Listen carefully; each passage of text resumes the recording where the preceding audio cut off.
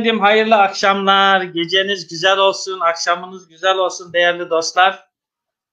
Güzel bir cuma akşamında e, kıymetli bir hocamızla, Bayram hocamızla e, Diyanet İşleri Başkanlığı Göç ve Manevi Destek Daire Başkanımız Doktor Bayram Demirtaş hocamızla bu akşam sohbet edeceğiz.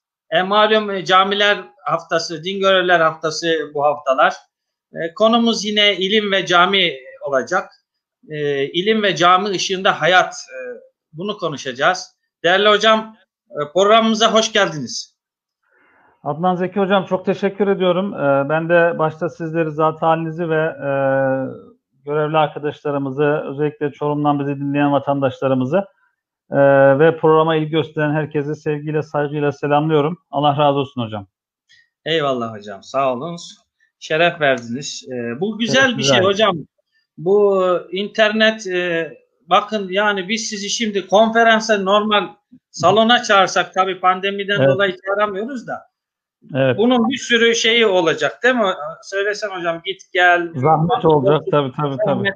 Ama bu ne kadar güzel bir şey ki e, böyle çok e, Ankara'dan evet. da bize bağlanıp ne bileyim sohbet ettiriyor. Bu internet iyiye kullanınca iyi bir şey demek hocam.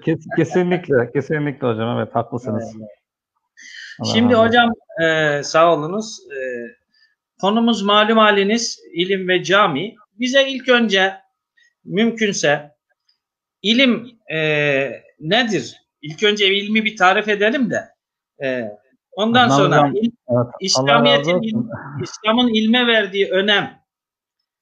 Ondan sonra cami boyutuna gideceğiz. Evet. Evet, e, kıymetli hocam şimdi e, aslında çok zor bir soru soruyorsunuz siz. Bir taraftan çok kolay gözüküyor. E, malum bir şeyi tarif etmek e, oldukça zordur. Çünkü tarif ettikten sonra diğer şeyler geliyor. Biz tabi bugün e, İslam medeniyeti malumlar e, ilimle yoğrulmuş bir medeniyet. İşte Kitab-ı Kerim'imizin e, ilk ayetleri ilimle başlıyor, okumakla başlıyor. Kur'an-ı Kerim e, kaleme yemin ediyor. E, şüphesiz İslam'daki yeri tartışılmaz. Efendimiz Aleyhisselatü Vesselam e, muallim olarak gönderildim buyuruyor ve e, rahli tedrise hem e, Hazreti Peygamber, sahabe-i kiram ve tüm alimlerimiz bugüne kadar e, çok önem vermişler. E, dolayısıyla ilim e, tabi bir de e, koca Yunus'un e, işte malumunuz tabiri var. İlim ilim bilmektir. İlim kendin bilmektir diye. Ee, yani biz bunu bilmezsek bu nice okumaktır. Ee, dolayısıyla e, Cenab-ı Hakk'ı, e, hakkı, hakikati unutmadan e, bir öğrenme e, arzusu. E, felsefeciler insanı düşünen canlı olarak e, tarif ediyorlar. Bu düşünmenin, anlamanın e, en önemli dalı belki de e, argümanı diyelim aracı e, ilim tahsilidir, ilim öğrenmektir. E, tabii bunun karşısında da e, cahiliye vardır. Malumunuz işte e, Aleyhisselatü Vesselam Efendimizin e, mücadele ettiği o karanlık zihniyeti biz cahiliye dönemi diye isimlendiririz. Belki insanlar e, okuma yazma bilirler, belki şiir bilirlerdi. Hani o günün çağına, zamanına gidersek.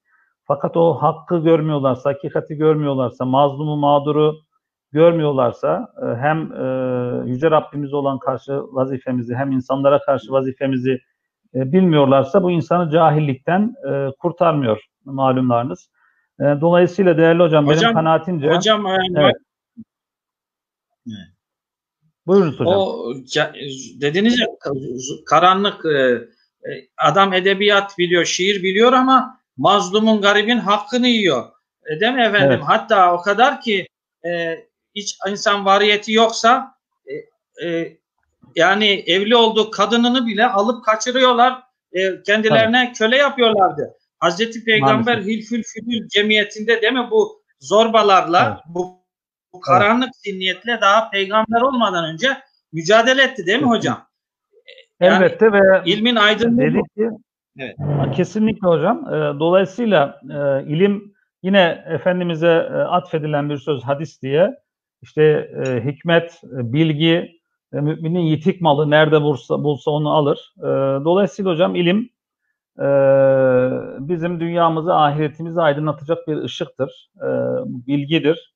hem dini ilimler, aslında böyle bir ayrım da yok yine malumlarınız İslam'da. Evet. Ee, yani matematikten, fizik, fizikten, coğrafya, diğer taraftan işte tefsir, hadis, kelam gibi bizim e, İslami ilimler diye bildiğimiz hepsi İslami aslında, öbürü de İslami. E, ilimleri tahsil etmek, e, bunu ya okumak, ya okutmak, e, ya öğrenci olmak, ya öğreten olmak, ya öğrenen olmak ya da bunu destekleyen olmak. Hani beşincisi olursan, bunlarla hiç ilgin olmayan birisi olursan helak olursun buyurur Efendimiz Aleyhisselatü Vesselam. E, belki e, ilim sahibi olmak için e, yani çok üniversite bitirmeye, e, çok çok diploma sahibi olmaya gerek yok. Ama e, işte bu dört halkadan birisi olmak lazım. Okuyacaksın, okutacaksın, e, seveceksin, yardımcı olacaksın, destekleyeceksin. Hakkın, hakikatin yanında olacaksın. E, genel olarak böyle başlamış olalım hocam. E, bilginin, hikmetin, irfanın e, ışığıdır ilim demiş olalım hocam. Işık, ışık dediniz. E, bu ışıktan e, devamlı hisseyab olmak, zulümden, karanlıktan uzak kalmak için ilimle hemdem olmak gerekir. Değil mi hocam? Kesinlikle. Aksi halde aksi halde hurafenin, e, taassubun, karanlıkların girdabında perişan olur gideriz. Doğru mudur hocam? Hocam e, elbette şimdi e, tabii bizim geleneklerimiz, göreneklerimiz, işte anamızdan, babamızdan, dedemizden gördüklerimiz bunlar çok önemli şeyler. Çünkü kültür bu şekilde aktarılıyor. Fakat hani o Kur'an-ı Kerim'deki ayeti kerimelere baktığımız zaman müşriklerle yine Efendimiz Aleyhisselatü Vesselam'ın mücadelesinde hani hak hakikat budur diyor Hazreti Peygamber. Onlar da diyorlar ki hayır biz babalarımızdan böyle gördük. E, o zaman burada bir hakem lazım. O hakem de ilimdir işte. Yani Kur'an'dır, hadistir, tefsirdir, tasavvuftur, e, kelamdır, işte matematiktir, bilimdir vesaire. Bu böyle gidiyor. E, bu ikisini ayıran şey. Yani bir taraftan e, örfi olarak, kültürel olarak e, bizlere tevarüs eden ne varsa, yani büyüklerimizden öğrendiğimiz şeyler diyelim, çevremizden duyduğumuz şeyler diyelim. Bunları elbette ki devam ettireceğiz. Bunlar çok güzel şeyler. E, bizi insan yapan şeyler aynı zamanda ama zaman zaman e, bunlara cahili bir takım şeyler işte sizin buyurduğunuz gibi hurafeler veya yanlış şeyler de karışabiliyor. E, bunları e, bunlardan temizlenmek, bunlardan uzak durmak için her zaman e, kitap bizde bir e, saygıyı ifade eder aynı zamanda biliyorsunuz. Biz vatandaşımıza bir şey söylediğimiz zaman vatandaş der ki hocam bu nerede yazıyor? E, der. Dolayısıyla şurada yazıyor dediğimiz zaman bu saygı görür. Bunun bir anlamı var elbette ki. Yani kitap, kalem, ilim e, bizim için e, bir kutsal değer e, taşıyor. Bunu her zaman her birimizin bu şekilde devam ettirmesine fayda var diye düşünüyorum hocam. Atalarımız da boşa dememiş. Alimle taşı taş, cahille yeme aş. Doğru mu hocam? Ya, kesinlikle. Bakın bu atalarımız var ya o kadar evet. güzel adamlar ki bir cümleyle hadiseyi hulasa ediyorlar hocam. Hocam öyle. Yani gerçekten Allah onlardan razı olsun. Sürekli salihin hepsi Allah razı olsun. Evet. Hocam e, başka bir sualimiz öyle olabilir. Buyurun İlim ve cami bağlamında hayatımızı nasıl tanzim ederiz? Hayatımızı yaşarken bu hayatta ilim ve cami nerededir? Nerede olmalıdır? Ve tarihi süreç içerisinde neredeydi? Bundan e, evet. bir açılım Hocam, yapabiliriz. Te- teşekkür ediyorum. Tabii biz bu sene camiler haftasında cami ve ilim konusunu ele aldık. Siz de bu çerçevede beni misafir ettiniz ve bu soruyu evet. da soruyorsunuz. Teşekkür ederim. Yani her sene böyle bir konu ittihaz ediyoruz, belirliyoruz. Bunun üzerinde konuşmaya, işte okuyup yazmaya, düşünmeye çalışıyoruz. Tabii bunlar nedir? Bir vesiledir bizim için. Bazı şeyleri tekrar konuşmaya, tekrar hatırlamaya, e, unuttuklarımızı hatırlamaya, bilmediklerimizi öğrenmeye. Tabi cami ve ilim dediğimiz zaman hemen şöyle bir Medine'ye doğru gidiyoruz. E, Mescid-i Nebi'ye doğru. Efendimiz Aleyhisselatü Vesselam'ın o bugün de işte izlerini gördüğümüz burası Suffe'dir dediğimiz yere doğru gidiyoruz. Hazreti Peygamber'in adeta bir yatılı eğitim kurumu gibi faaliyet gören, e, sünnet-i seniyyenin, hadis-i şeriflerin, İslam'ın e, bize aktarılmasında çok önemli bir işlev gören Ashab-ı Suffe'ye gidiyoruz. Yani büyük sahabelerin evet e, eğitim gördüğü ve bütün dünyaya İslam'ın ışığının yayıldığı bir yere gidiyoruz. E, dolayısıyla caminin içerisinde bir e, eğitim kurumundan bahsediyoruz. Bu Hazreti Peygamber döneminde böyle olduğu gibi ondan sonra da böyle olmuş. Yani İmam-ı Azam Ebu Hanifeler, işte İmam Malikler, İmam Şafiiler, e, bizim amelde mezhep imamlarımız, e, itikatta mezhep imamlarımız, büyük alimlerimiz, taberiler, aklımıza kim geliyorsa e, tarihin her döneminde özellikle İslam'ın o e, aydınlık çağlarında yani bütün dünyaya e, adaletin götürüldüğü, merhametin götürüldüğü e, dönemlerde camilerimiz aynı zamanda bir ilim merkezi olarak e, faaliyet görmüş. E, aynı camide birçok ilim halkası e, olmuş. Şimdi bizim milletimizin çok güzel hasletleri var. E, elhamdülillah bunlarla biz iftihar ediyoruz. Ama bazı şeyler de sanki biraz daha iyi yapsak iyi olacak. İşte onlardan birisi de e, bugün Mekke'de, Medine'de ya da farklı Arap ülkelerinde gördüğümüz bu e, camilerdeki ilim geleneğimiz. Her ne kadar bugün biz işte müftülükler olarak e, cami dersleri, çeşitli sohbetler, şunlar bunlar başlatsak da tam böyle bir o e, halka geleneğini sanki kuramadık. E, bu Hazreti Peygamber'den Ashab-ı Suffe ile başlayan dönem sonraki alimlerde de e, devam etmiş. Ve sadece dini ilimler, e, tefsir, hadisi, kelamı değil, e, matematiğine, cebrine, e, işte coğrafyasına varıncaya kadar o günün şartlarında e, bütün ilimlerin bu e, cami halkalarında e, öğrenildiğini e, mütalaa ediyoruz, görüyoruz. Yani bunlar e, yer alıyor ve bunun örneklerini de bugün farklı İslam e, ülkelerinde e, görmek mümkün e, değerli hocam. E, tabii bugüne e, gelmek lazım. Bugün bizler ülkemizde e, bu anlamda neredeyiz? Belki bunun bir e, müzakeresini yapmakta fayda var. E, bu bir hayal mi bizim için? Aslında öyle değil. E, bugün de e, yani on binlerce vatandaşımızın katıldığı, tabii salgın öncesinde şu anda bir afetle bütün dünya olarak mücadele ediyoruz. İşte tedbirlerimiz ona göre. E, camiye gitsek de e, hızlı gidiyoruz, seccademize gidiyoruz, safları seyrek tutuyoruz, e, mesafemizi koruyoruz. Fakat salgın öncesini düşündüğümüz zaman on binlerce vatandaşımızın katıldığı cami dersleri. Yani bugün bir e, yaz kurslarını mesela değil mi hocam? Çorum'da da öyledir eminim. Milyonlarca evet. öğrencimiz Türkiye genelinde e, camilere koşar. Ve bu e, öyle bir şey ki hocam sizler de eminim öylesiniz. Biz de ilk e, talimi, terbiyeyi, işte namaz surelerini, duayı, abdesti vesaire hep e, cami hocalarımızdan öğrendik. Yani yaz kurslarında e, öğrendik. Bu Türkiye'deki öyle zannediyorum bütün e, Müslüman kardeşlerimizin çoğunluğu için geçerlidir. Dolayısıyla e, bu camilerdeki ilmi faaliyet geçmişte olduğu gibi bugün de aslında temel bilgilerin öğretildiği bir yer. E, cami bu görevini görüyor. Tabi artık biraz değişiklikler var. Nasıl? E, biz eskiden köylerde yaşardık, küçük mahallelerde yaşardık. İşte sizlerin, bizlerin çocukluğuna doğru gittiğimiz zaman ama artık işte Çorum böyle, Ankara böyle, İstanbul öyle. E, şehirler kalabalıklaştı. Hayat biraz daha hızlandı. Hep bir koşturmaca var, bir yerleri yetiştirme telaşı var. Belki birçok kardeşimiz namazların sadece farzını işte kılıyor, önünden arkasından sünnetini kılıp camiden çıkmak zorunda kalıyor. Fakat e, hangi şekilde olursa olsun hocam işte bu bazı yerlerde özellikle büyük şehirlerde mesela pazar günleri, hafta sonları e, işte çorbalar yapılıyor, ne bileyim bir e, zikir meclisi kuruluyor, bir vesile ediliyor velhasılı kelam.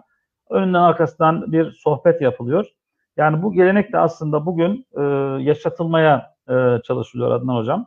Ve bu e, caminin evet. e, ya uhrevi bir e, ne diyelim bereketi de oluyor hocam. Şimdi belki bir başka yerde yaptığınız ders de tabii ki çok kıymetli. Bugün yani bütün eğitim faaliyetleri e, Allah razı olsun hocalarımızdan her yerde işte okullarımızda, üniversitelerimizde, farklı kurumlarda bu işleri yapılıyor ama camide olduğu zaman e, zikirle beraber, abdestle beraber, öncesinde sonrasında namazla beraber oranın bereketi bir başka oluyor.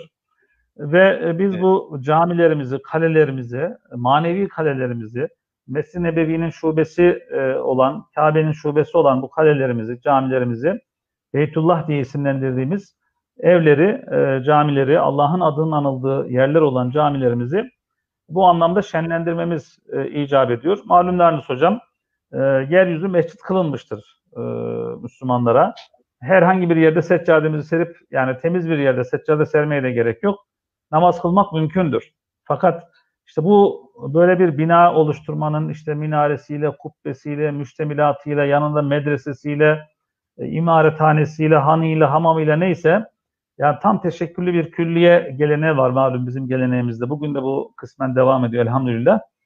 Bu nedir? E, hayatın burada e, aktığını, hayatın merkezinin burası olduğunu e, göstermesi açısından son derece önemli. Ha, biz bunu belki her zaman her yerde yapamayız. Şimdi bizim hocalarımız dinliyorlarsa diyecekler ki hocam siz İstanbul'da Ankara'da görev yaptınız. Her yeri böyle zannediyorsunuz. Benim var üç tane cemaatim var. Benim beş tane cemaatim. E, cemaatimizin bir kısmı yaşlı, bir kısmı şöyle, bir kısmı böyle. Ee, burada hani hep söylediğimiz bir şey var. Kemiyet değil keyfiyet. Yani burada bin kişiymiş, beş bin kişiymiş değil. Ee, hani biz deriz ya hocam bazen camilere gideriz, bakarız ki cemaat yok, vaaz ediyoruz. Ya önemli değil. Veya Kur'an okuyoruz. Melekler var deriz, melaike bizi dinliyor deriz. Cami full dolu, dolu deriz tamamen. Biraz buna bu zihniyetle bakmak lazım. Elbette ki sayı da önemli. Cemaatimiz gelsin. Ama önemli olan bizim orada yapacağımız hizmetin kalitesidir.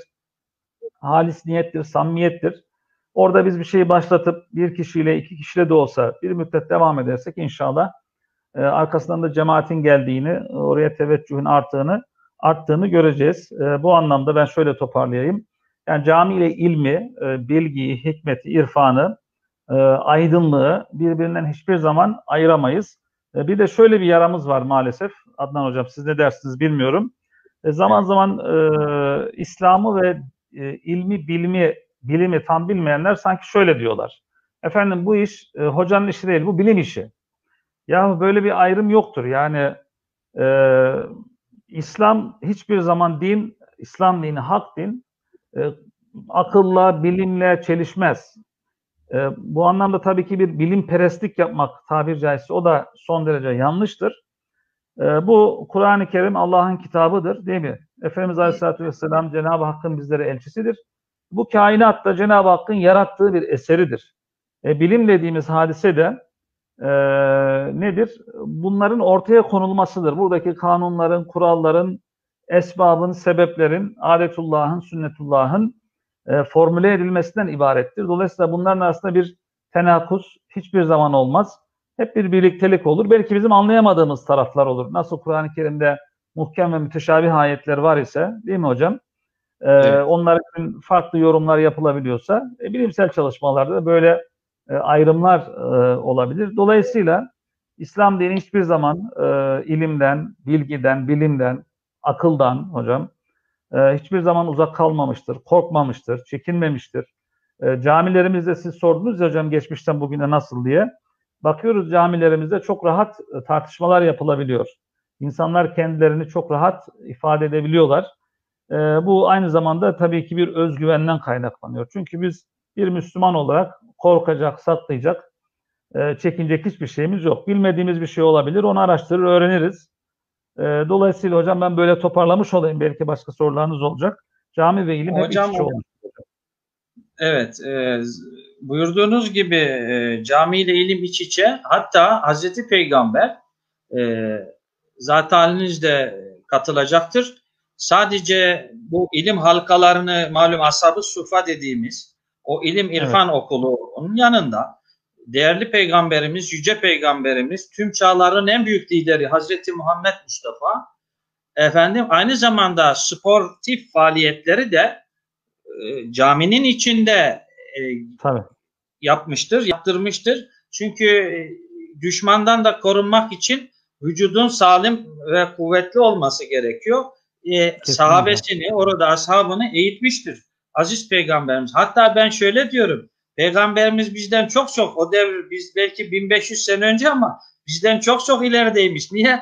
Biz şimdi camide biz güreştirme yapsak bizi tefekkür bir şey insanımız. Evet. Yani e, bu bu şeyde bilmiyorum bir arkadaşımız belki sizin deminki açıklamalarınızı besleyecek bir e, soru sormuş Murat Dağlıoğlu kardeşimiz. Ee, diğer böyle selam gönderen dostlar var. Onları da okuyacağım. Çünkü insanlar burada isminin okunmasını e, arzuluyorlar. Şöyle e, ya biz de katkı veriyoruz hocam. Bizi de an. Biz evet. de bu güzellikte tuzumuz olsun baharat kabiliğinde. Onları evet, da anacağım. Murat Dağlıoğlu sanırım Konya'dan yazmış. E, şöyle bir suali var hocam. Hakikat ve hikmete ulaşmada felsefenin yeri çok önemlidir. Bazı evet. kimseler tarafından da dinimizde felsefeye iyi bakılmadığını görüyorum. Mümkünse bunu evet. değerlendirir misiniz demiş ama ben bir şey söyleyip ondan sonra cevaplayın hocam. Evet. Şu, bağla, şu bu bağlamda cevaplanırsanız sanırım daha isabetli olacak. İnşallah. Batı'da baktığımız zaman birçok ilahiyatçı yani din adamı dediğimiz e, büyük isimler aynı zamanda matematikle, fizikle, felsefeyle de ilgilenmiş. Bunlardan birkaçını evet. örnek ismini söyleyeyim sonra siz suali lütfen cevaplayınız. Ör, örneğin Newton Newton büyük bir fizik ve matematik alimi aynı zamanda biliyoruz ki kendisi bir ilahiyatçıdır. Tabii. Öbür taraftan Kepler efendime söyleyeyim e, bildiğim kadarıyla Spinoza büyük felsefeci. Hı hı.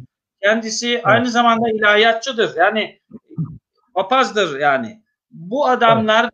Dinlerindeki tahsili yaparken öbür taraftan fizik, matematikle ilgilendiği gibi bizim İslam mirası içerisinde İbn Sina'dan tutun Farabi, efendim Ebu Bekir Razi, bak Fahrettin Razi demiyorum. Ebu Bekir evet. Razi ki matematikte trigonometri, efendim e, cebrin kurucusu sayılan Cabir, efendim evet. İbni Heysem, bunlar ilahiyat biliminin yanında aynı zamanda fizikte, tıpta ve diğer bilimlerde uzmanlaşmış kişi, evet. e, alimlerimiz de biliyorsunuz. Bu bağlamda hocamızın sorusunu buyurun cevaplayınız hocam. Hocam teşekkür ederim. Aslında siz aydınlattınız. Ee, ben şöyle bir örnek vereyim. Ben Marmara İlahiyat mezunuyum. Ee, İlhan Kutluyer hocamız var orada bilmem e, tanır mısınız? Ee, felsefe hocasıdır hocam.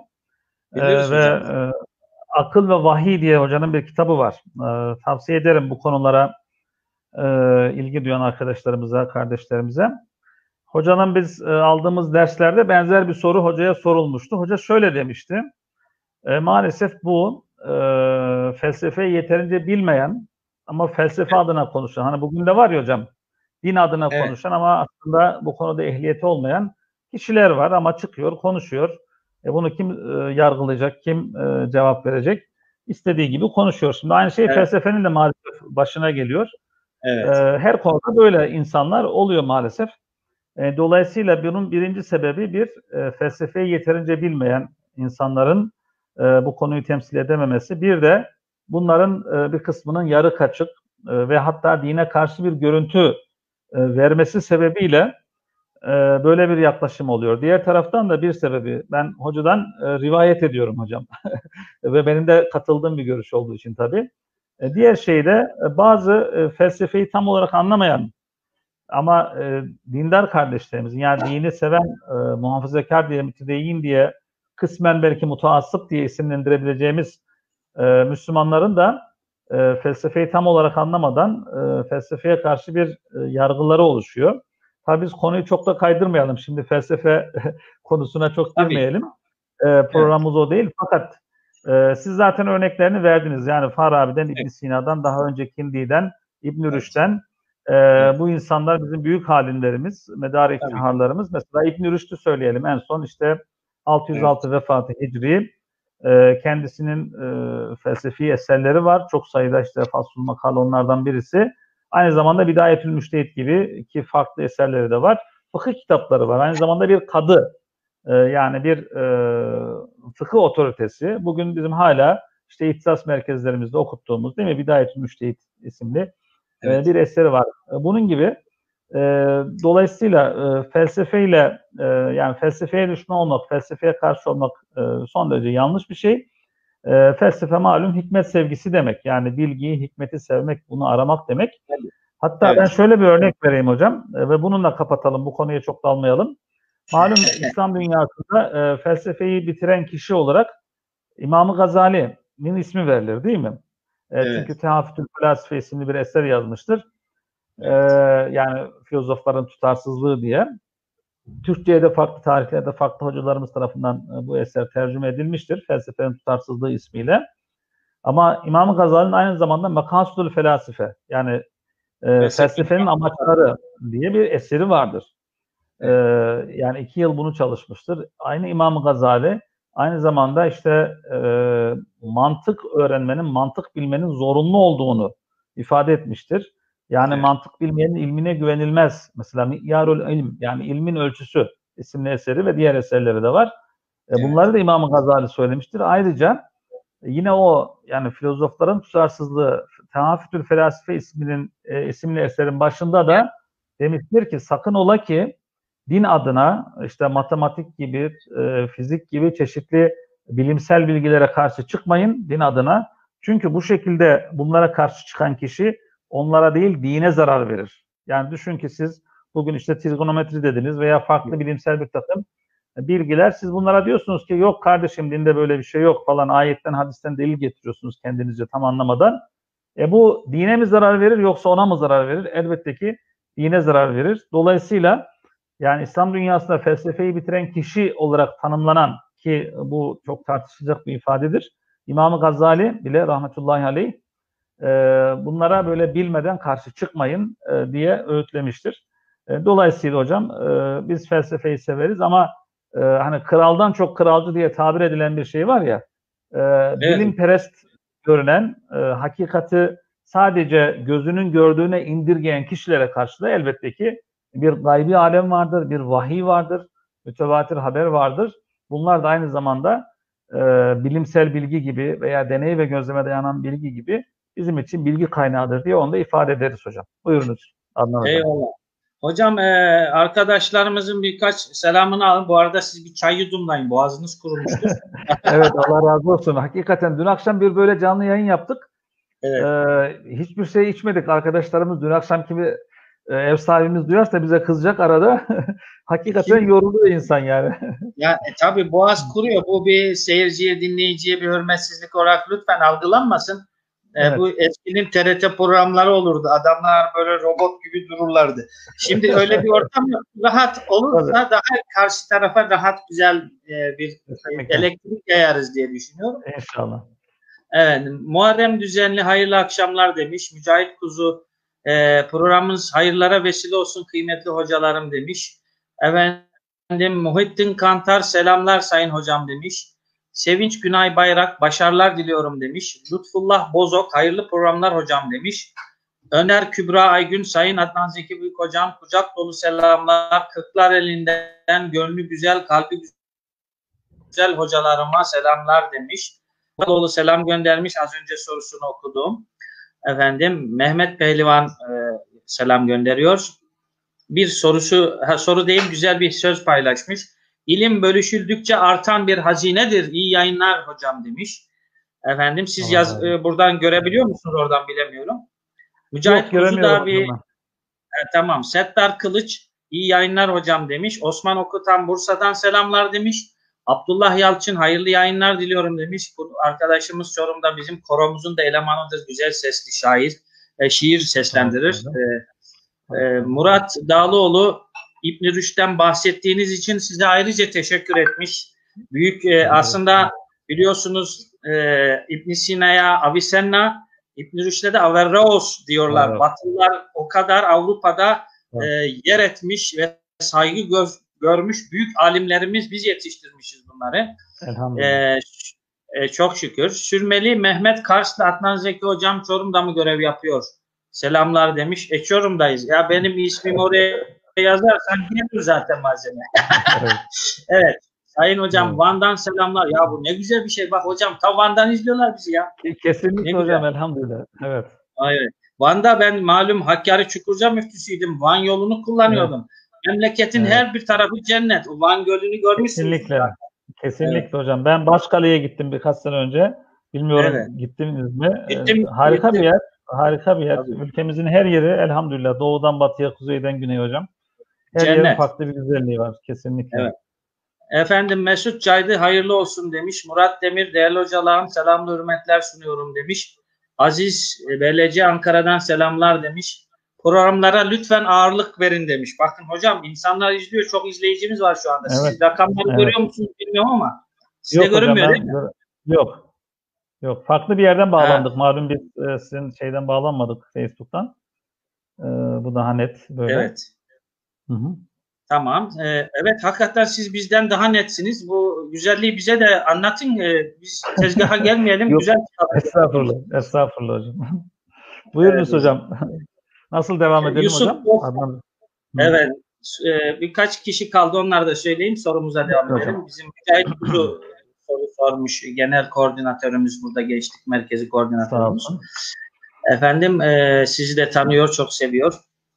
Yusuf Aha. Boz saygılar selamlar demiş Kayseri'den. İstanbul'dan Şerif Görmez akıllı mikrofon diye hutbe diye bir şey yazmış. Ne demek istiyor hocam o ben anlamadım. Akıllı ne mikrofonla hutbe ne demek? Neyse bilemedim. E, Kemal Demir'den bizim Çorum vaizimiz hayırlı yayınlar kıymetli hocalarım demiş. Bayağı izleniyoruz hocam. E, yine Allah bekleriz olsun. inşallah demiş Sayın Hoca.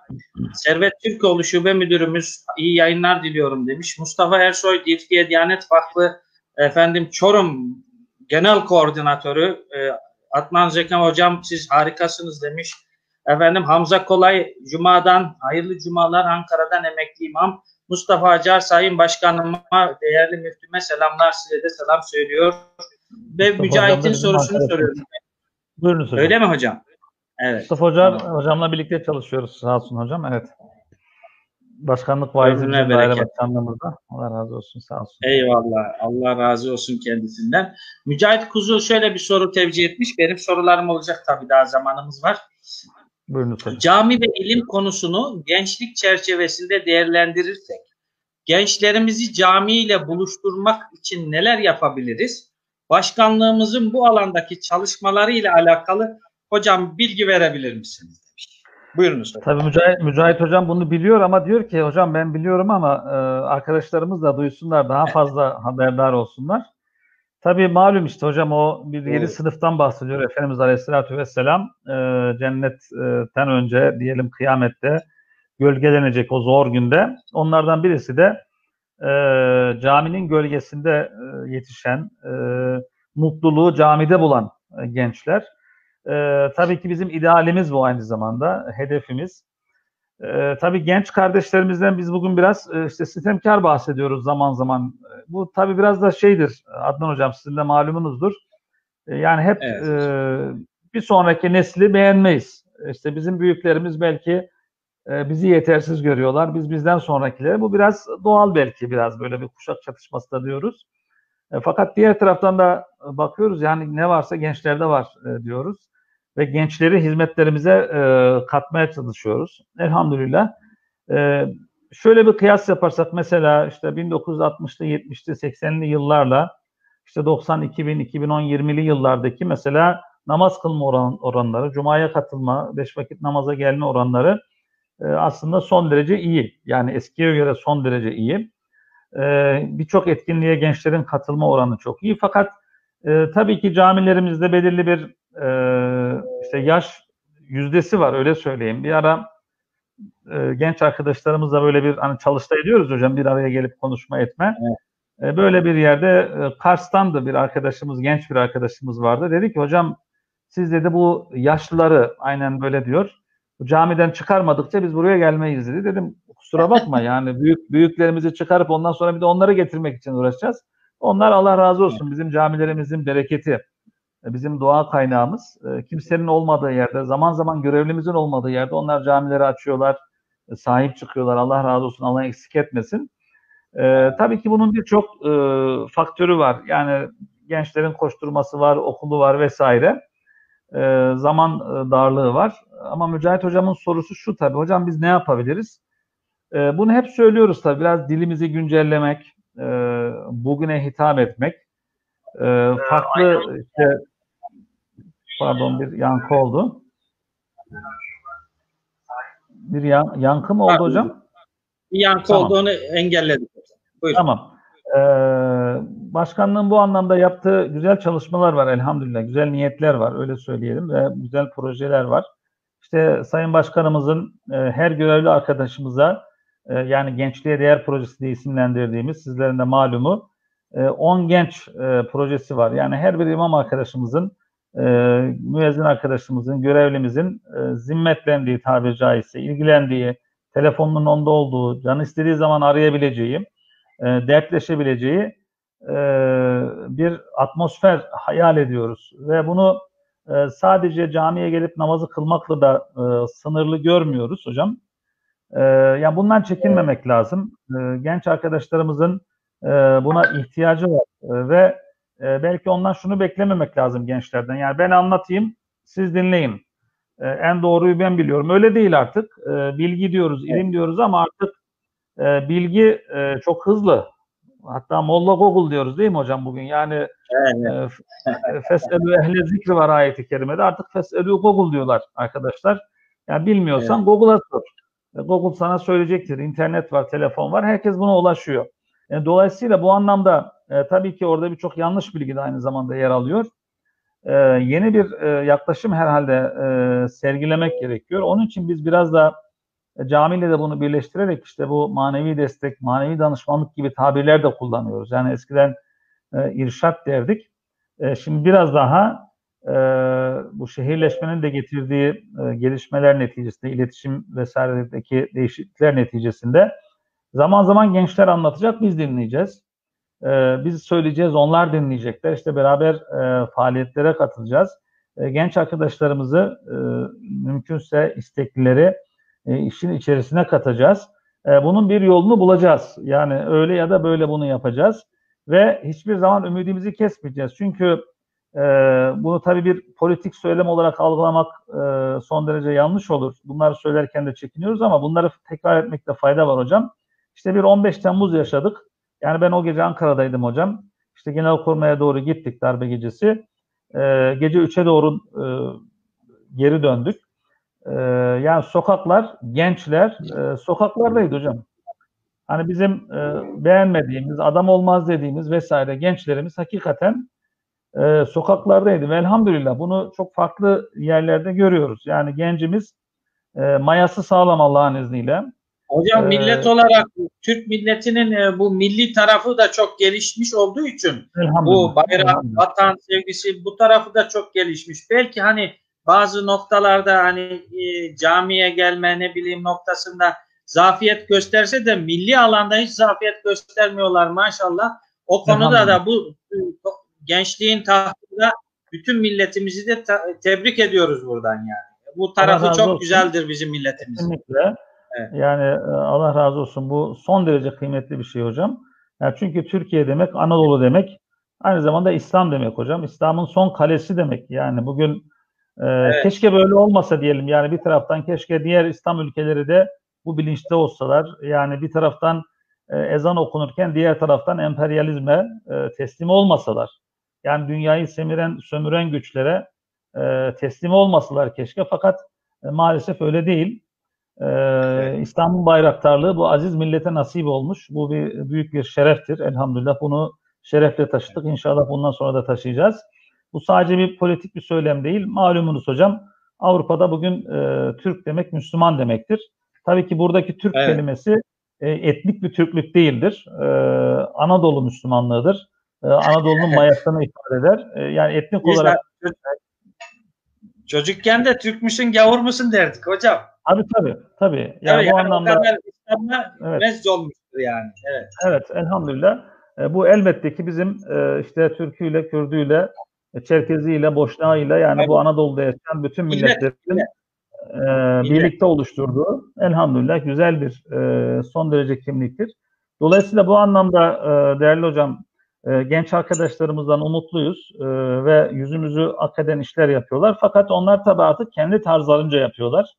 E, bize düşen e, kendi çocuklarımızda da bunu yaşıyoruz.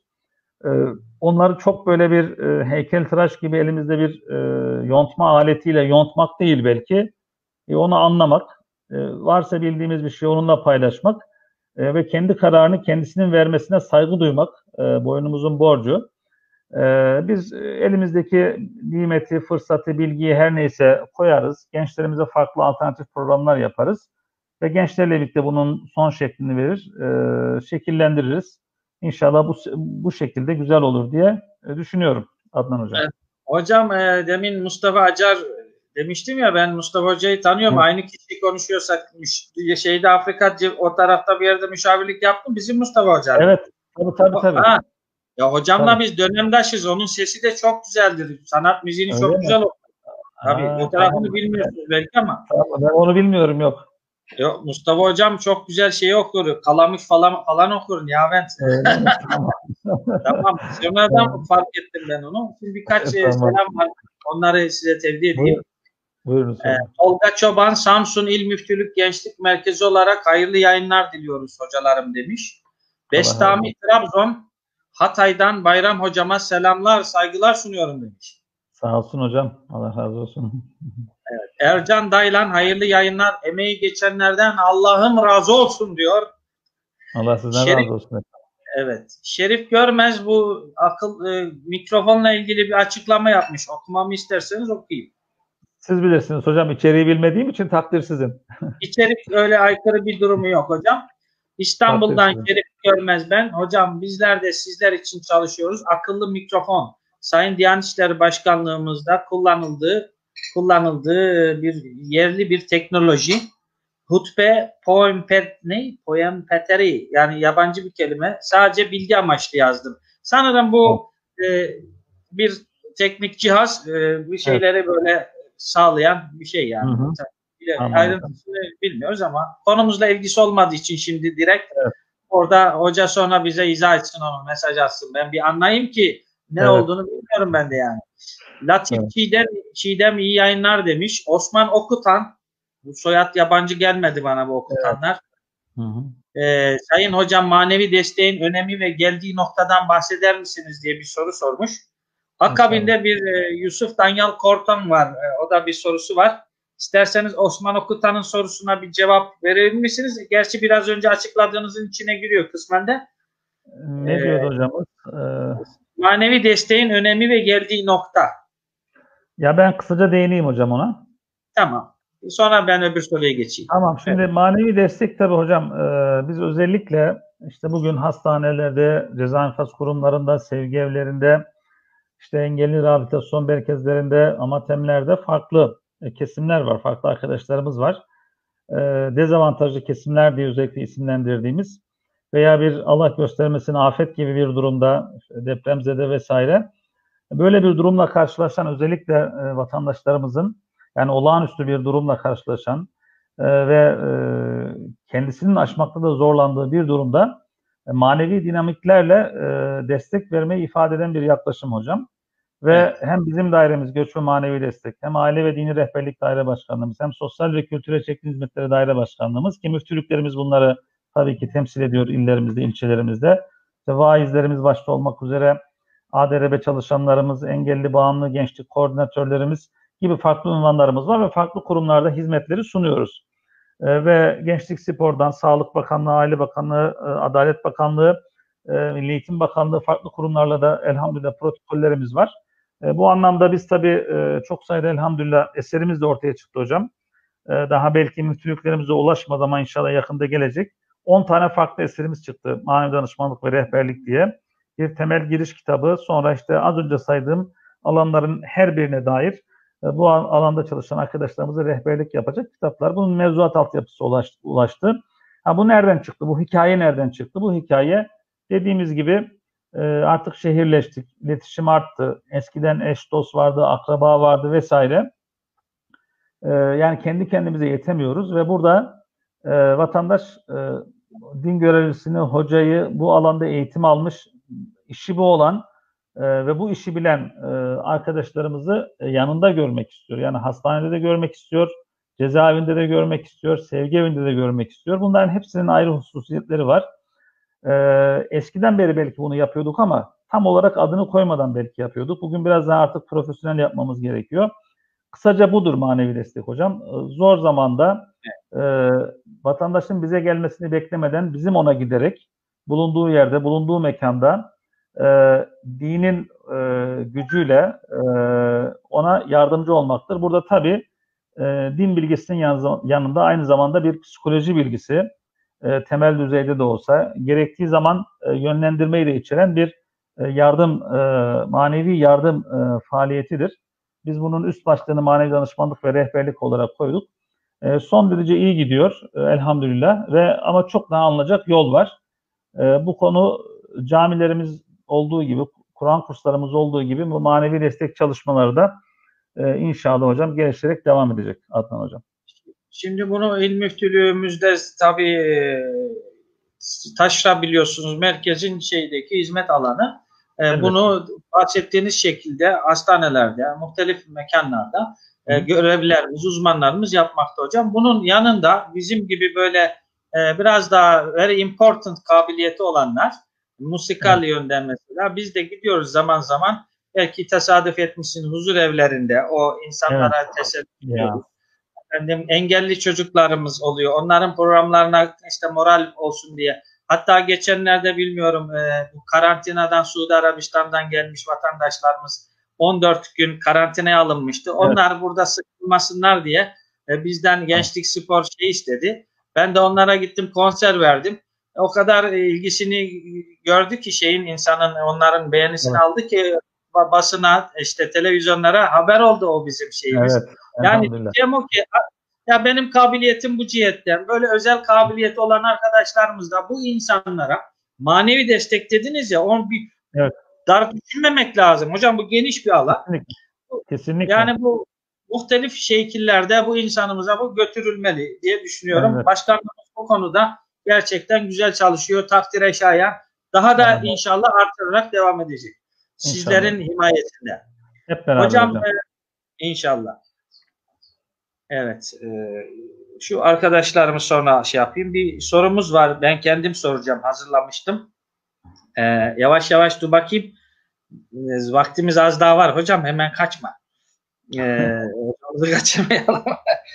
Hocam bin, binli, bin yüzlü yıllarda baktığımız zaman e, gerçi şeyde yani cami, medrese, darul hikme ilmin çok böyle terakki ettiği zamanlar görüyoruz. Bunun için evet. de deminki söylediğimiz gibi çok ciddi alimlerimiz aynı zamanda hem ilahiyat tahsili yaparken demin söyledik e, fizik, matematik ve diğer bilimlerle de iştigal etmişler ve Avrupa'da kitapları okutulacak kadar e, söz sahibi olmuşlar. Bunlar evet. cami e, içindeki kürsülerde işte biliyorsunuz şu anda ben Arabistan'a gittiğimde de gördüm. Orada insanları topluyor hoca. işte kadı kimse o alim. İnsanlar evet. onu dinliyor. Ders tahsili yapıyorlar. Tedrisat evet. yapıyorlar. Bu insanlar camilerde veya muhtelif mekanlarda, darül hikmelerde, medreselerde eğitim alıp ve zirveye çıkmışlar. İlim bu kadar yükseğe çıkarmışız.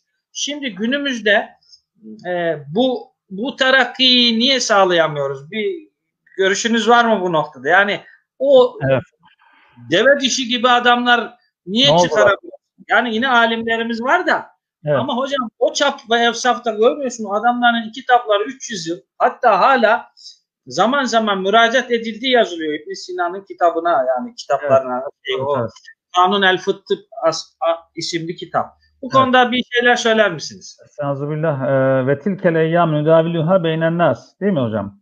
Evet. Ee, yani bu devlet e, dediğimiz, e, ilim dediğimiz e, bir takım onur dereceleri diyebileceğimiz şeyler insanlar arasında dolaşır. Veya İbn Haldun'un malumunuz e, mukaddemede ifade ettiği yine bir e, teori vardır. Yani devletler, medeniyetler işte doğar, gelişir, büyür ve sonra ölür. E, gerilemeye doğru gider. E, benim şahsi kanaatim tabii yani bu ayet-i kerime de bunu işaret ediyor. Bu bir sünnetullah. İslam dünyası e, bir kriz dönemlerinden, büyük kriz dönemlerinden birini yaşıyor. Hakikaten e, işte Osmanlı'nın son 200 yılından itibaren e, devam eden bu kriz dönemi hala e, neticeye ermedi. E, siz de buyurdunuz. E, sadece Türkiye için değil, bütün İslam dünyası için bu e, geçerli hocam. Malumlarınız olduğu üzere. E, tam anlamıyla bir e, e ne diyelim eksiklik var, e, bir dağılmışlık var. E, fakat bunun inşallah e, hani güneşin doğmasının en yakın olduğu zamanlar işte en karanlık olduğu zamanlardır. E, bunu böyle düşünmek lazım. Çünkü bu çok uzun bir hikayedir. E, diğer taraftan şunu da hocam e, ifade edelim. Kendimize haksızlık etmeyelim. Yani bugünkü e, Batı medeniyeti diye isimlendireceğimiz medeniyet ki birçok onun içerisinde İslam dünyasının da etkisi vardır. Farklı medeniyetlerin kültürlerinde katkısı vardır o sürece. Yani Tabii. teknolojik, e, askeri ve ekonomik üstünlük, bu açık bir üstünlük var. E, fakat bu aynı zamanda bir e, medeni üstünlük değildir. Yani şu salgın döneminde e, dünyanın tırnak içinde en ileri devletlerinin e, huzur evlerinde yaşlıların ölüme terk edildiğini gördük. Yani siz az önce buyurdunuz huzur evlerinde e, gidiyorsunuz büyüklerimizin ayağına ilahilerle onları değil mi mest ediyorsunuz. Evet. E, aslında batıda tabi bu işler çok gelişmiştir. Yani gerçekten haklarını yemeyelim. Sosyal bakım son derece gelişmiştir. Fakat e, bir kriz anında e, insanlar pekala annelerini, babalarını, büyüklerini ölüme terk edebiliyorlar. Fakat bugün işte savaşla e, yıkılan Suriye'de, e, Irak'ta dünyanın herhangi bir İslam ülkesinde yani belirli bir İslam medeniyetinin eğitiminden geçmiş bir yerde ki birçoğunu görmek nasip oldu hocam. E, böyle bir manzarayla karşılaşamazsınız hocam. Yani insanlar eşini, dostunu, çoluğunu, çocuğunu, büyüğünü asla ölüme terk etmez. Yani ölecekse de beraber ölür. Bu anlamda e, elbette ki ekonomik, siyasi, askeri anlamda bir gerilik söz konusudur ama ben medeni olarak hocam e, medeniyet açısından geri olduğumuz kanaatinde değilim. Yani bugün dünyanın yine tırnak içinde çok gelişmiş ülkelerinde hocam e, elektrikler kesildiği zaman, e, kameralar kapandığı zaman, polis korkusu olmadığı zaman e, Yağmalar çok, yani yağmanın çok üst düzeyde olduğunu maalesef görüyoruz. Ha bu belki bizim şehirlerimizde de kısmen olabilir ama işte bu çok küçük gruplar e, şeklinde kalır. Kendini bilmeyen münferit hadiseler olarak kalır. Ama onun dışında insanlar helal haramı bilir, kul hakkını, kamu hakkını bilir. Kendisine ait olmayan bir şeye elini uzatmaz. Dolayısıyla e, elhamdülillah bu ülkemiz için böyle olduğu gibi diğer İslam ülkeleri için de böyledir. Yani Arabistan'da işte siz de yaşamışsınızdır, biz de yaşadık. Bir şeyinizi kaybederseniz çoğu zaman yani hırsızlar vardır tabii hırsız her yerde olur. E, ama diğer taraftan bıraktığınız bir eşyanın saatler sonra yerinde durduğunu e, görürsünüz, şahit olursunuz. İnsanlar ona elini uzatmaz. Dolayısıyla demek ki e, biz aslında medeni olarak, e, kültür olarak, medeniyet açısından geri değiliz. Ama askeri anlamda, ekonomik anlamda, siyasi anlamda belli ki gerideyiz. Yani bunu bizim ekonomimiz daha iyi demenin e, bir anlamı yok. E, işte şu ülkelerden, bu ülkelerden, İslam dünyasının tümü olarak bunu kastediyorum. Toplam e, genel olarak değerlendiriyorum. E, dolayısıyla bunun sebebi ne derseniz, bunun malumlarınız birçok sebebi vardır. İşte coğrafi keşiflerden başlar, ne bileyim medreselerin geçirdiği süreçler, işte aklın dışlanması vesaire bu çok e, farklı bir konudur. Ama e, bunlar sebeptir ki sebepler son derece önemlidir. Onların tahlil edilmesi gerekir. Ama bir de başta okuduğum ayet-i kerime bu insanlar arasında tedavül eder, değişiklikler olur. E, gelişmeler de e, böyledir. İnşallah bu karanlık gibi e, gözüken e, süreçte bitecektir. E, tekrar İslam'ın aydınlığı dünyayı aydınlatacaktır ki dünyada bugün sadece Müslümanın değil gayrimüslimin de gözünün yaşı akmasın. İnancı, dini, mezhebi kimin ne olursa olsun herkes Allah'ın lütfeyle, rızkıyla hak ettiği bir şekilde insanca yaşasın ve kendi özgür iradesiyle Müslüman oluyorsa olsun, olmuyorsa da olmasın. Onun kendi bileceği bir iştir. Çünkü bu e, zorla değildir ama biz Müslümanlara düşen İslam'ı doğru bir şekilde temsil etmek, tebliğ etmek e, ve e, bunu insanlara ulaştırmaktır diye ben böyle geçiştirme olarak kabul etmeyin. Özet bir cevap vermiş olayım hocam. Güzel ülase ettiniz. Hocam şöyle bir şey var. Profesör Oktay Sinanoğlu'nun bir lafı vardı. Evet. Batı gönlü kaybetti, Doğu aklı kaybetti diye. E, evet. Şimdi hakikaten e, şimdi e, gidiyorsun geçenlerde başka bir vilayete gittim. Benim yabancı olduğuma gel kardeş bir bardak çayımızı iç falan. Böyle bir cümleyi ne İngiltere'de ne Almanya'da ne Fransa'da duyamazsın kardeşim. Yani Hatta bu toplumun Tabii. Garip tabii. Ha, hocam onlar bedavacı biliyorsun Almancı şey Alman diyorum. tabii, Alman tabii. usulü lafı da oradan çıkmış herhalde. Evet. Bunlara bir şey ikram ettiği zaman böyle şaşırıyor. Çünkü o kültür, o medeniyet yok. Ha sizin evet. sizin deminden beri anlattığınız noktalar eyvallah. Biz hani şey teknolojik ilmi yönden e, dedim biraz onlar ileri gitmiş o tarafını yoksa bizim bu tarafın yani gönül insanı olan bizim milletimizin İslam coğrafyasının gönlünün büyüklüğü tartışılmaz hocam. Ben Avrupa'ya görev olarak gitmedim ama zaman zaman gezip kıyas edebilen, mukayese edebilen bir arkadaşımız. Efendim e, hatta vaazlarımda diyorum ki bak böyle diyorum. Adamlarda şu var bu var ama gönül yok diyorum. Gönlün Maalesef. olmadığı yerde insanlık olmaz ki kardeşim. Ha şeyi de öbür eksik tarafımız da tarihte nasıl çıkmışsak yine de oraya atılımlarımız tabii bir gayretlerimiz var. İnşallah o oraları da yakalarız. Ama ben İnşallah. her şeye rağmen ne diyorum? Hani de, İlber Hoca'nın bir lafı var. Bizim çocuk matematiğin canına okuyor. Bilgisayarın altın üstüne getiriyor. Her şeyden anlıyor ama misafire hoş geldiniz demeyi bilmiyor. Misal. Ya. Evet. yani gönül tarafını ihmal ettiğin zaman insanlık mıdır bu? Dünyanın en büyük şeyi oldu. E, teknoloji devi ol ama insanlığın gitmişse bizim şu anda muhtaç olduğumuz bütün dünyanın bu rahmet iklimi dediğimiz insanlık tarafını kaybetmişiz. Maalesef. Ama bu yine bu yine az da olsa o bir vata alemine göre az da olsa bizim coğrafyamızda fazlasıyla yaşatılıyor. Onlara göre az da olsa diyor. Evet. Yoksa dediğiniz gibi az önceki verdiğim misallerden hadise güzelce anlaşılıyor. Bizim insanımız Ali cenaptır, misafirdir değil Mücahit Hocam? Yanımda Mücahit Hocam da oturuyor. Arada ona böyle tasdik ederim. Ahveş'in keçisi gibi anlamayın olayı. Ya. o olay arada böyle tasdik alacak bir arkadaşım olsun ki. Tabii, tabii.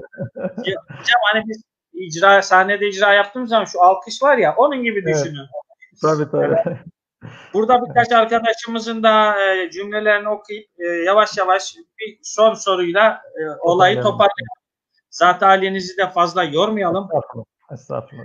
Ama atalarımız demiş ki işleyen demir pas tutmaz. Ee, bir de size bir e, şey söyleyeyim. Ululardan, büyüklerden güzel bir e, cümle. E, şöyle bir söz ben çok beğenirim. Hem orijinalini okuyacağım sonra arkasından tercümesini söyleyeceğim.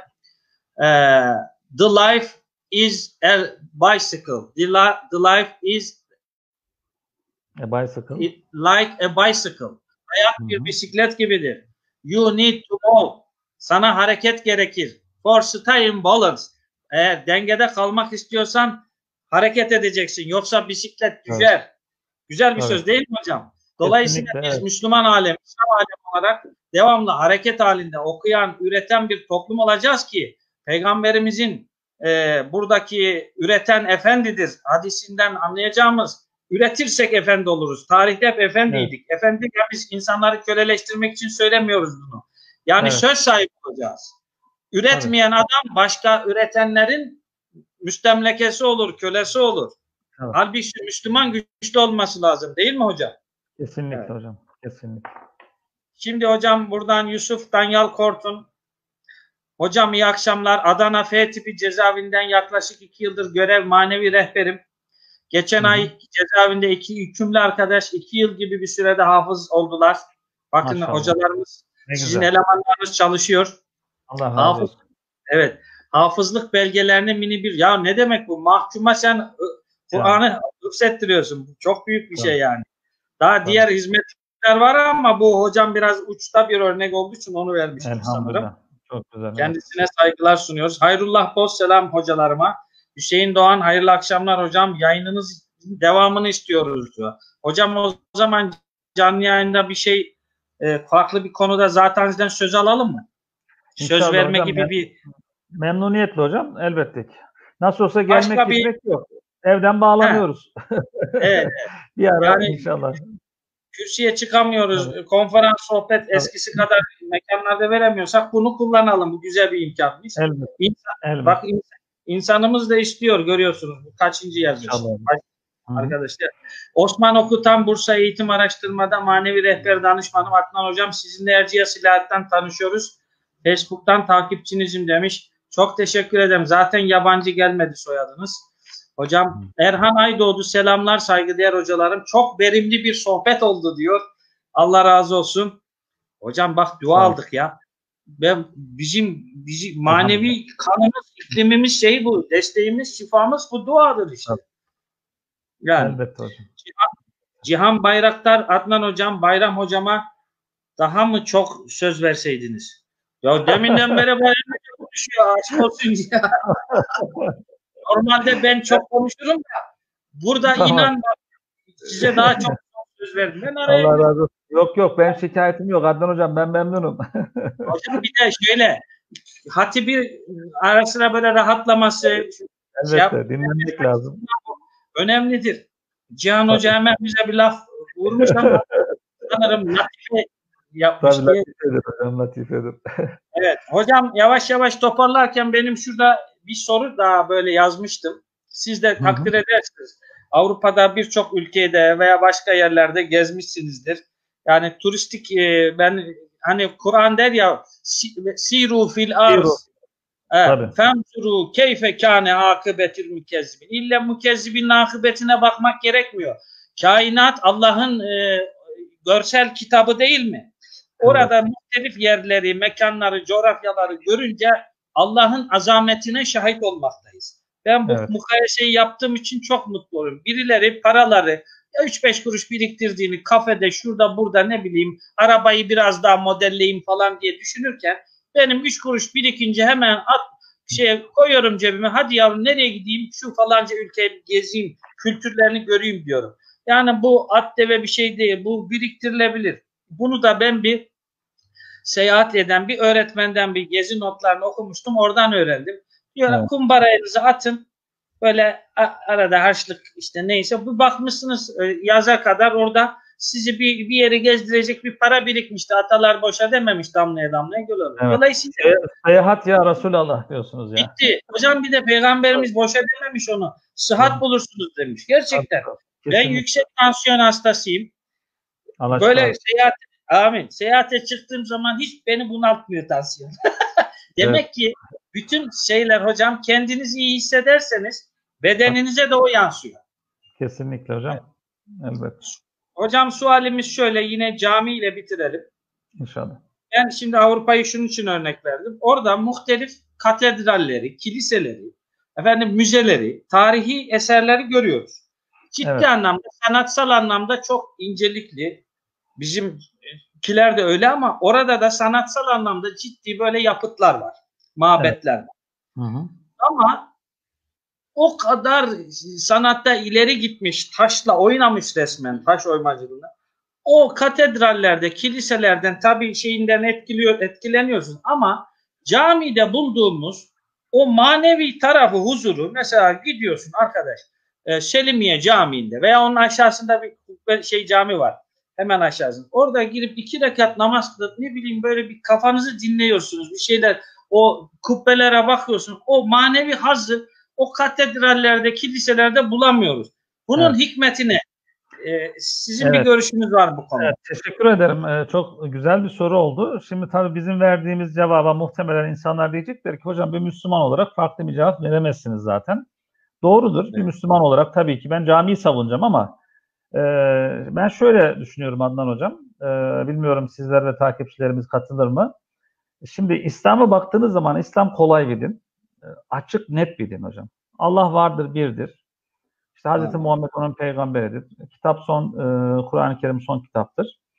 E, ve hakikaten dini doğru öğrendiğiniz zaman, ben özellikle ilahiyat tahsilimiz sırasında bunu e, hissetmiştim. Yani Kur'an-ı Kerim'i de okudukça, Efendimizin sünnetini tam olarak e, böyle yüzeysel değil öğrendikçe, yani din açık, seçik, duru e, bir şeydir. E, öyle zor, girift insanı hani diyor ya Taha suresinde sana eziyet olsun diye biz göndermedik diyor Kur'an-ı Kerim'i. E, dolayısıyla e, bu bizim mimarimize de yansımış. Yani o e, İslam'ın işte tevhid inancı, aydınlığı, e, rahatlığı, e, yani tırnak içinde bu çizdiğim çerçevedeki rahatlık mimariye de yansımış. Mesela e, bizde e, yine rahmetli oldu Ali Murat Daryal hocamız vardı Marmara'dan hocam. Bilmem tanır mısınız?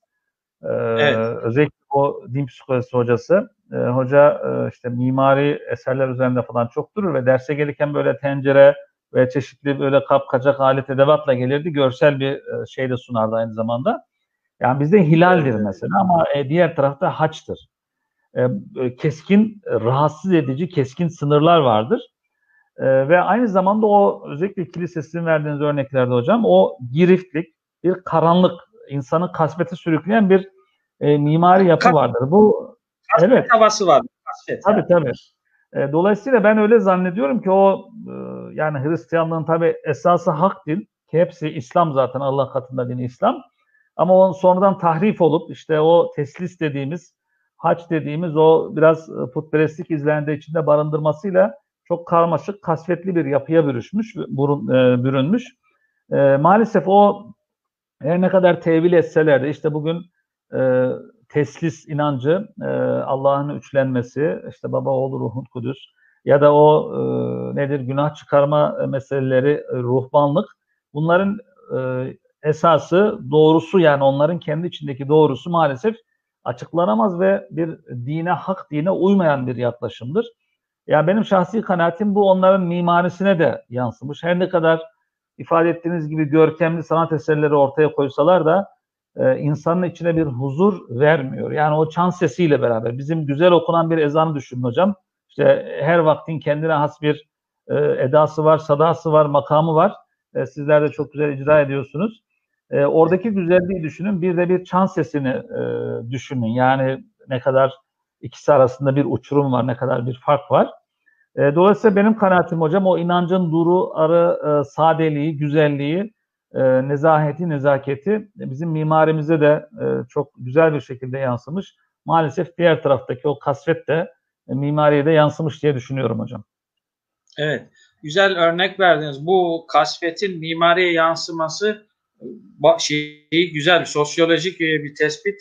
Dediğim sanat tarihi açısından ne bileyim görkemliliği falan eyvallah. Demek ki bu batıl taraf e, o mimariye de veya başka yerlere de aksediyor. Evet.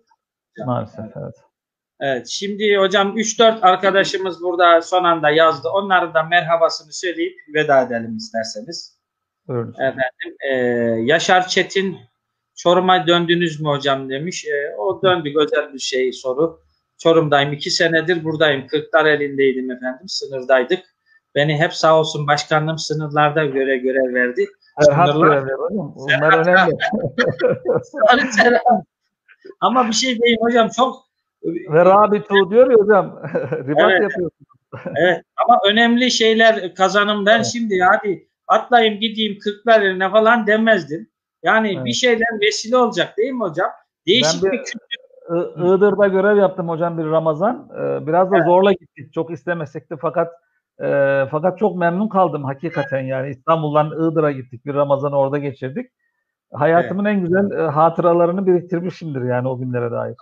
Ben de aynı şeyi söylüyorum. Belki şu 50 yaşındayım. 50 yaşımın yani görev hayatımın 31. yılımı çalışıyor.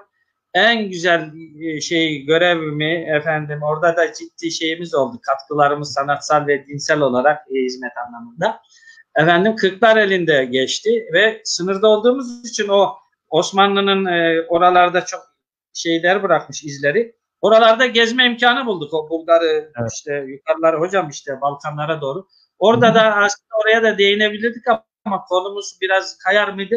Tekkeler evet. vesilesi, dervişler İslamiyet'i oralara götürmüşler. Ben ciddi sayıda tekke gördüm oralarda.